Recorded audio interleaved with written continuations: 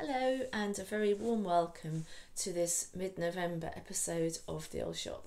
It's quite a grey kind of day out there, quite misty and damp as befits the time of year.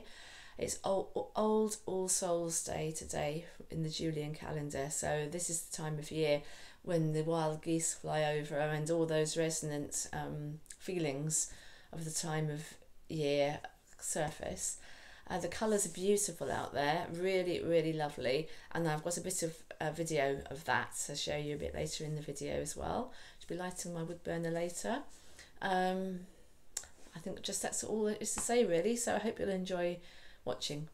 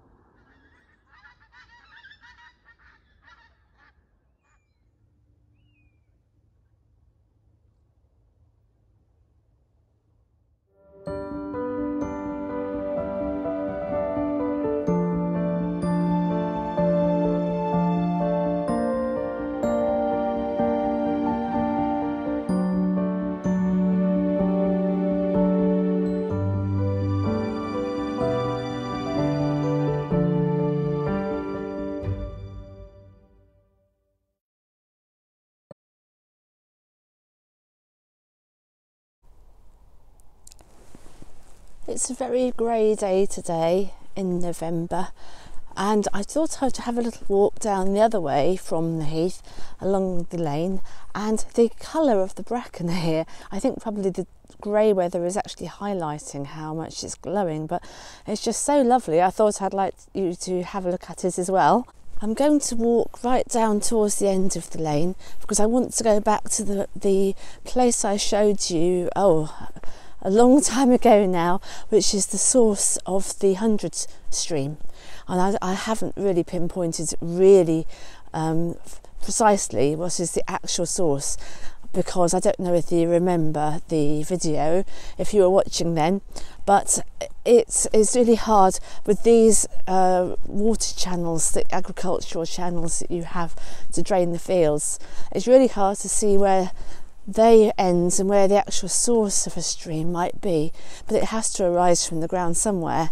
So this is the field maple. It's, it's so lovely the way it goes so, so such an intense golden colour in the autumn. You can always see the field maples from a distance. And the other very distinctive one in the hedgerow here is the elm just at the top. You see there's very very lime green colour um, bits sticking up, and they, they are little bits of elm. Lots more elm here. I don't think people realise how widespread elm is in our hedgerows because of Dutch elm disease, which everyone knows wiped out all the large trees. I think it was in the mid 70s. We used to have a big elm tree in the garden when I was a child, a huge one, and that succumbed, as, as they all did, I think, to Dutch elm disease. But in the hedges, there's lots and lots and lots of it. Whichever hedge you look, a hedgerow you look at, close to here, and I imagine that lots of other places as well. I think they're just not going to get to full, as far as anyone knows. Anyway, they're not going to grow to a full size. the Alexander seeds here on the dried stems. Really, really black, and again, they usually show up a lot at this time of year. I love it when the oaks go this colour, the kind of bronzy shades, and then the ivy climbing up the trunks, of course, is the same green, and it's that lovely combination of colours. I always look forward to every year. It doesn't last for that long because then, of course, the leaves come down, and that's the end of that little um, episode. But I love it just in November when it's like that.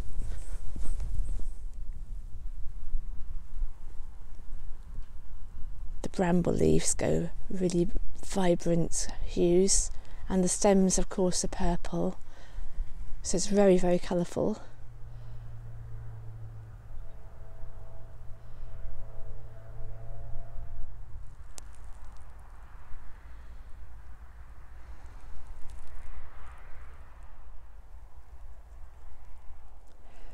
Here we are at the spot that I think of as the source. I don't know whether it actually is or not, um, but I kind of had to make a mark somewhere, and I think it's here.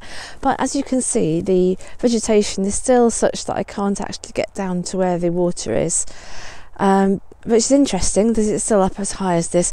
I must, I think I came early in the year this year and it had all gone down completely. I think often it's the around February time is is the most bare and barren month.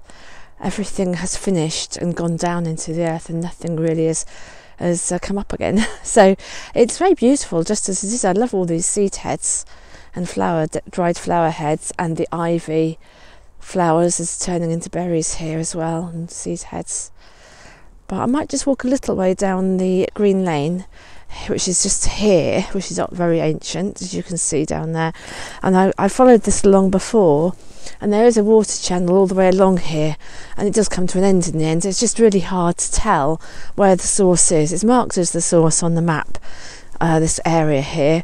And also, the way phones are now, it shows you, it gives you the location, and it has been saying 100 stream just there and in fact by the road as well it says 100 stream where I turned into this little area. As you go further along it doesn't say that. So I don't know. It's really hard to say because they do they, as I said before the fields are just drained into these ditches and channels.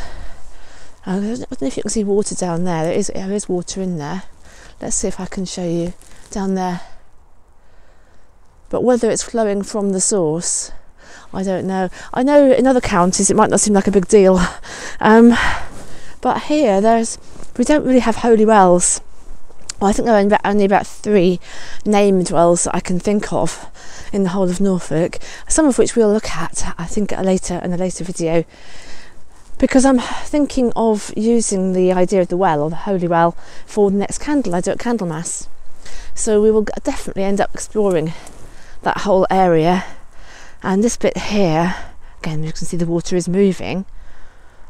I love it anyway. Something very evocative about it because this is certainly the start of the hundred stream, one way or another, and that hundred stream goes down. It joins uh, the canal further down, and then that, that in, in turn joins the River Ant, and that goes into a broad. I think it's Barton Broad, and then comes out the other side again, and then it becomes the River Yare, which is a big river in Norfolk, and then that flows onto the sea and comes out in Yarmouth, Great Yarmouth.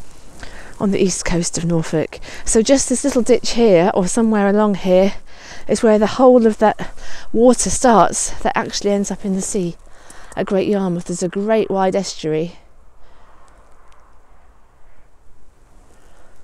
So no wonder our ancestors they would have known where the start of the stream was. I'm sure they wouldn't have been had the waters muddied, so to speak, with all the agricultural activity that we've had for centuries here now.